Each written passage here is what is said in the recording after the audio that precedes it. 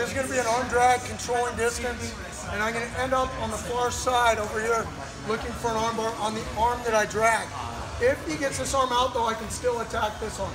So off that arm drag, I'm going to start to drag, but I'm just going to suck in close to him, and I'm going to reach and drag. So there's no space. I actually do want to go to Eric's back, but he gets his head up, and he blocks my path. So my general rule of thumb is head down, I go to his back, okay? So if I get an arm drag and I get his head down, I'm going to his back, guys. We're done.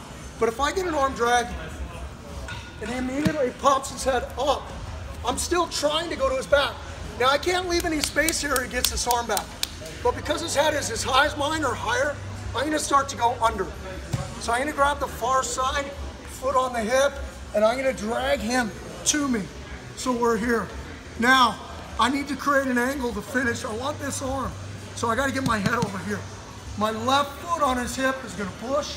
My right foot's gonna bite and I'm gonna push his head and keep it down. Swing over, tap. He gets this arm somehow out, or even if he was starting to, I could go here, I could go here, okay? But the idea is this, guys. As I arm drag him, I want his back, but he blocks me. Okay? So now, foot comes out to here. Boom.